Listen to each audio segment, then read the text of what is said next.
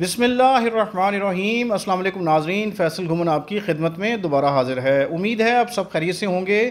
آپ سے تین دن بات نہیں ہو سکی، ملاقات نہیں ہو سکی، میں کچھ بیمار تھا اور ابھی بھی میں پورا ریکور نہیں ہوں۔ آپ میرے لیے دعا کیجیے گا کہ میں جلدی ریکور ہوں اور آپ کے ساتھ اچھے اچھے وی لاگ جو ہے وہ کروں۔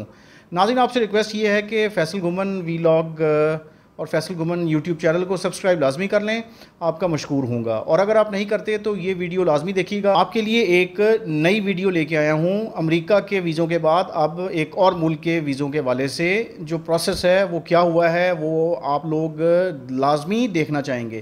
ناظرین، یکم اگست کو میں نے جو وی لاگ کیا، امریکی ویزوں کے والے سے جو ویٹنگ ٹائم ہے، وہ ریڈیوس ہوا۔ اس کے اوپر لوگوں نے کافی سارے کمنٹس بھی کیے۔ اور اب یہ رپورٹس آ رہی ہیں کہ ویزا ٹائم واقعی ہی ریڈیوس ہو گیا ہے اور لوگوں کو ویزا ٹائم جو ہے، جو انہوں نے اپلیکیشن سبمٹ کی تھیں مختلف ویزا کیٹیگریز کے لیے، اس میں ان کو ٹائم ملنا شروع ہو گیا ہے۔ تو یہ ایک اچھی بات ہے۔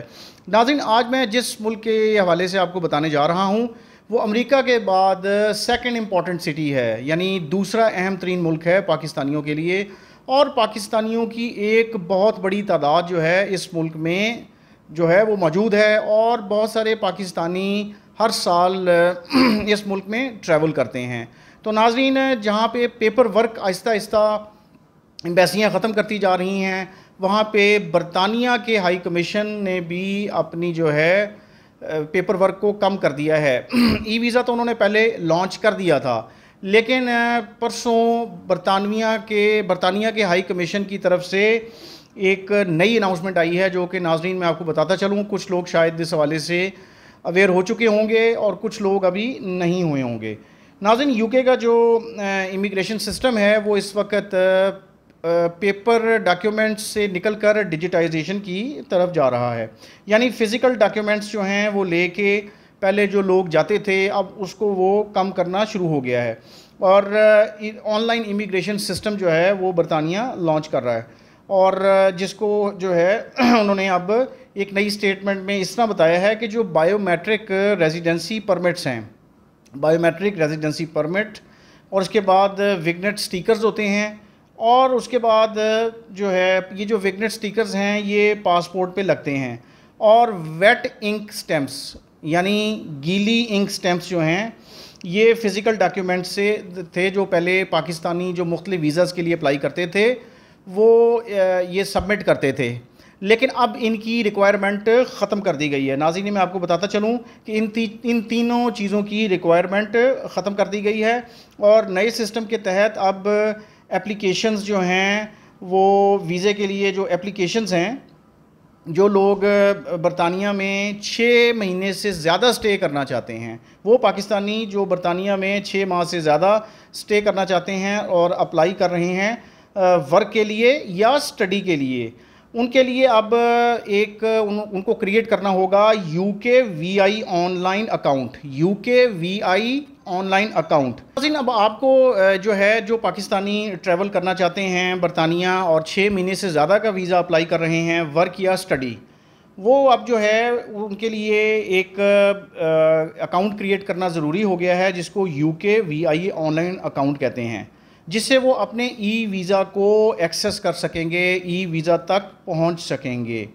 اور یہ جو اکاؤنٹ ہے، یہ ان کا جو امیگریشن سٹیٹس ہے، جو امیگریشن سٹیٹس ہوگا اپلیکیشن پہ، اس کے آن لائن ریکڈ کے لیے جو ہے وہ یہ اپنا پرپز سرو کرے گا۔ یعنی وہ اپنا آن لائن اکاؤنٹ چیک کر لیں گے کہ ان کا سٹیٹس کیا ہے۔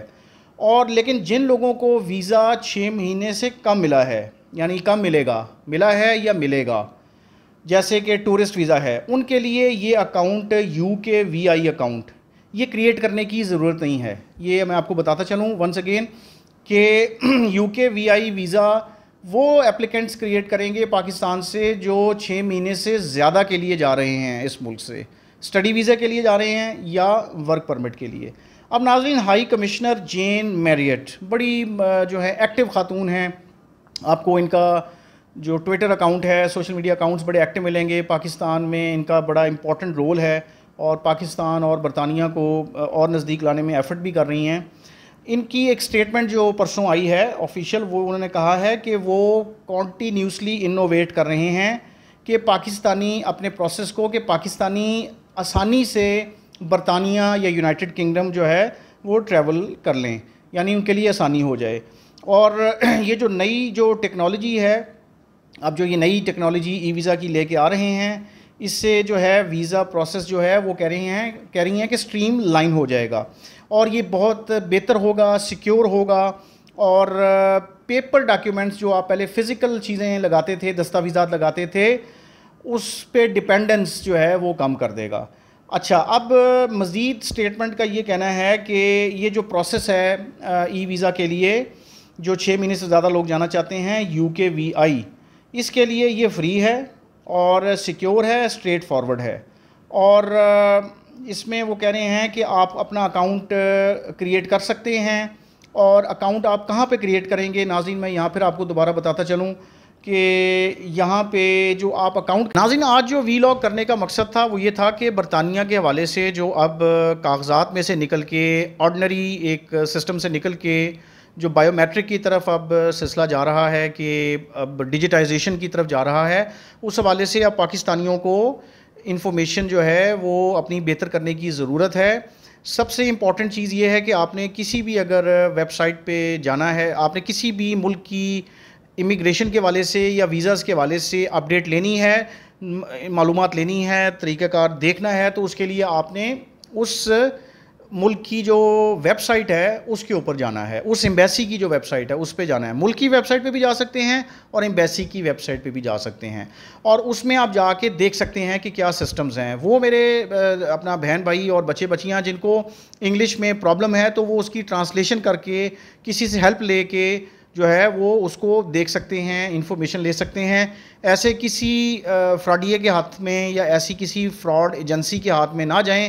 جو آپ سے پیسے بٹورتی ہے اور آپ کو جو ہے سبز باغ دکھاتی ہے۔ تو آپ ان کی جو ویب سائٹس ہیں ان کو وزٹ کر سکتے ہیں۔ آپ اس طرح کے وی لاگس دیکھ کے انفارمیشن کلیکٹ کر سکتے ہیں اور اپنا پروسیس کر سکتے ہیں۔ اب ناظرین، یہ جو ویزاز انہوں نے ایزی کیے ہیں، اس میں اب بہت سارے اپلیکنٹس جو ہے، وہ ہر وقت اپلائی کرتے ہیں۔ برطانیہ کے لیے وہ اپنا ورک ویزا کے لیے بھی اپلائی کرتے ہیں۔ اسٹوڈنٹس ایجوکیشن ویزا کے لیے اپلائی کرتے ہیں۔ تو ان کو اب یہ اس نئے سسٹم سے گزرنا ہوگا۔ اور I wish you best of luck سب کے لیے کہ بھی آپ اپلائی کریں۔ برطانیہ میں تو اب پانچ جو کیٹیگریز ہیں، میں جیسے پہلے وی لاک کر چکا، اس کو بھی دیکھیے گا۔ اور اس میں بھی میں نے بتایا ہے کہ کون سی پانچ کیٹیگریز میں وہاں پہ جابز نکلیں گی، اس میں بھی آپ لوگ اپلائی کر سکتے ہیں۔ تو اس کے لیے بھی آپ کو اسی پروسیس سے گزرنا ہے۔ یہ جو اب نیا پروسیس ہے کہ آپ کو نیا اکاؤنٹ جب ان کی ویب سائٹ پہ جا کے بنانا ہے، تو پھر آپ اس کو پروسیس کریں گے۔ تو اب دیکھنا یہ ہے کہ یہ جو برطانیہ کے ہائی کمیشن کی طرف سے یہ جو اب نیا ڈیجیٹائزیشن کا سسٹم لانچ کیا گیا ہے، اس سے لوگوں کو کتنا فائدہ ہوگا؟ کہ برطانیہ کا جو ہائی کمیشن ہے، اس کی طرف سے اگر یہ ایک نئی سہولت لانچ کی گئی ہے اور انہوں نے اپنا دائرہ کار وسیع کیا ہے، اس سے پاکستانیوں کو کتنا فائدہ ہوگا اور پاکستانی خود اس پروسیس سے کتنا فائدہ اٹھائیں گے؟ تھینک یو جی اللہ حافظ۔